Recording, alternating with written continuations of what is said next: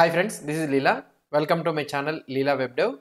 In this video, we will see how to add the ESLint in the React.js project. In the previous video, we have seen how to add the ESLint in the Angular projects we have seen and also we have learned about the file structure also. And in this video, we will see about how to add this ESLint in the React.js.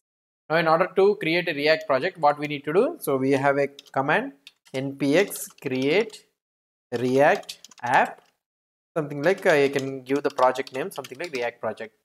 Now let's try to create this one. Npx create react app. Just like in the angular 12 how we are not getting any eslint or any linting configuration. In the same scenario react also doesn't get any linting configuration by default. So we need to configure the linting. Let's see now. So we have pressed the enter. So it, it will ask you some series of questions. So creating a new react. Oh, okay. So it creating. Yeah it's creating everything now the project has been created. Let's go into the project. Cd react hyphen project. Okay let's open this one in the visual studio code. I am opening this one in the visual studio code. Now here if you try to see there is no eslint rc json file. The configuration file is not present in the react project by default. And if you go to the package.json also so there will be no command regarding this uh, what we can say linting. So you, here you'll be able not able to see any lint. In angular we are able to see ng lint as a default one so which we will get is a ts lint uh, prior to angular 12 projects. Now here we want to configure the eslint in the react project. So how we can configure is let's go and we already know that eslint hyphen hyphen init. To initialize the eslint in the react project. So it will ask you some series of questions. Just answer those questions. You already know. So we have gone through the thing. So what would you like to use in the eslint so to check syntax problems and enforce code style so we are using import export yeah in the react. So which framework does your project use? Yeah it uses the react. And does your pro project use typescript? No. And browser? So you can if you want to use you can use a popular style guide like airbnb like that. Or otherwise we can answer the questions. So json spaces single quotes unix yes that's it. So now it will try to install the plugin that is nothing but eslint hyphen plugin hyphen react so this is the plugin so which will be supported for the react projects okay we uh, previously we used to have the angular builder right? So in the same scenario here we are having this eslint plugin react. In the same scenario vue.js also will have the eslint hyphen plugin hyphen vue now it is taking it, it is installing these all plugins. So eslint it is installing and also the eslint plugin also it is installing. Now let's try to see here. So up to now is eslint rc is not created. Let it take time to create. Eslint and the plugin is successfully created and also it has created the eslint rc.json file also. Let's try to see that json file. What are the things involved in that json now here if you try to see here this browser is true. Yeah it's es 2021 it is using. And it extending the eslint recommended rules. So that means all the eslint recommended rules it will it will uh, follow. If you want you can also use airbnb like those things also. And also here it is using the plugin react recommended. So in the same scenario how we have done in the previously plugin while creating a plugin. So the plugin also is having some recommended rules. So that is also we are using and here you can use this ECMA features like JSX true. So we need to write the HTML inside the JS file, right? So that is the reason JSX true and the ECMA version is a 12, nothing but 2021 and the source type is module, it is nothing but importing thing. We are using import, right? In the React JS, that is the thing it is saying. And the plugins we want to import is the React plugin. In that React plugin only we are having the rules. And these are all the things are uh, we already know. So these are the rules of what we have uh, given in the command prompt.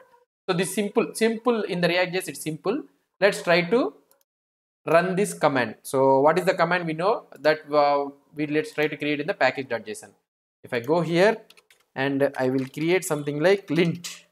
And in this lint what i will try to do is eslint and what are the what are the fo folders i want to execute? So source file okay slash star star slash star.js okay so this is the folder structure. So this is the folder we need to have the rules to be applied. Eslint rules so these are the rules, right? So eslint star source slash star star slash star dot js. So let's save this one and uh, let's try to run this command npm run lint. Okay. If I go here and if I run npm run lint, let's see what it will execute. So I am trying to run the npm run lint. It is executing. So eslint source star dot js. So it is taking the star dot js. That means all the JS files present in this one. Here you will be able to see that indentation, some indentation has been go gone wrong. So let's try to fix it. So we have 32 errors can be fixed. So let's try to fix it. That means what we'll try to do here, we will try to have another command, something like lint hyphen fix. Okay. sorry lint hyphen fix and here I can use the prefix hyphen hyphen fix I use the comma hopefully this one will be saved I think let's cancel this one yeah so linting ESLint yeah lint hyphen fix hopefully this one is all correct. Let's try to use the command npm run lint hyphen fix. So we are fixing the rules automatically uh, which were which could be solved by the ESLint let's try to see how many things will be solved. Here it is giving that 32 errors will be solved. Out of 41 problems it is saying let's see. And here we are able to see couple of errors. So that is nothing but it is saying that react must be in the scope and the test is not defined expect is not defined these all things and before that here you are able to get that react version is not specified in the ESLint plugin react settings it is saying.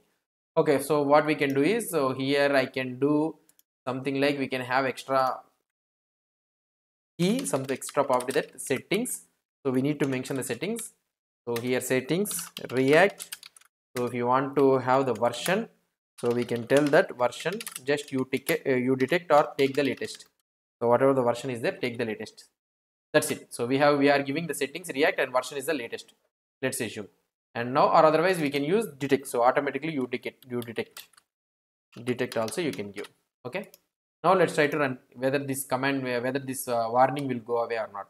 So i'm trying to do the lint hyphen fix. Everything anything is okay.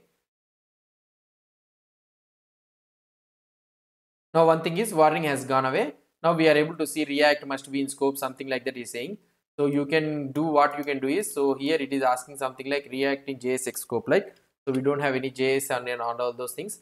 Okay when using JSX we can write something like in the rules.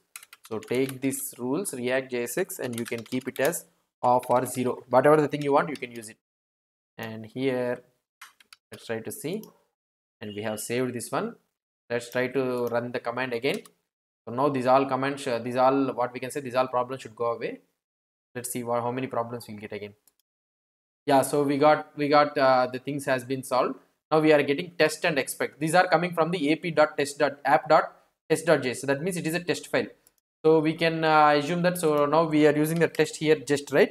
So we can use something like jest true okay? So we can keep it as jest true so that all the global something like test expect and all those things will come. So we can do npm run lint hyphen fix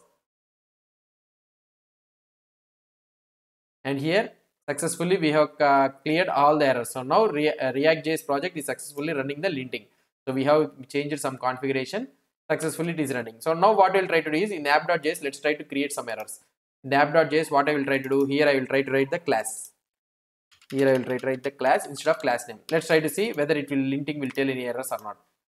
Now here i will try to run only lint. Why? Because fix means it will all it will all it will all it will fix that automatically. So that is the reason i am try, trying to run the lint so that we can see the error. So whether it will tell the class uh, thing or not. So we should write it as class name right instead of class. So whether it will tell or not let's try to see. Success right? So here able to see that unknown property class found but you we need to use the class name instead. So now we need to use the if you want to use so here this error can be automatically fixed it seems so just try to run npm run lint hyphen fix okay if you if you try to run this one automatically the code what we have written here the class it will be renamed with the class name.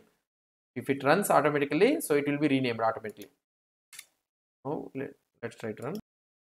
So it has fixed the error. So now let's try to see here. We are able to get the class name automatically see. So this is how we will be creating the ESLint linting in the React.js project. And the Vue.js project automatically the linting will be applied to you. If you want to uh, add it for a separate thing means you can use the ESLint hyphen plugin hyphen vue. So I am not showing that uh, Vue thing demo in the in the next video. So by this what we can say is so we have uh, did for all the major things Angular we have did linting and also the React JS also we have did the linting. Hope you understood about how to apply the linting for the most popular frameworks like Angular and React. If you have any doubts or any suggestions, please post the comments below to this video. And if you like this video, please do support me by subscribing to my channel. And also please do follow my Facebook page and the uh, link is provided in the description below. Thank you.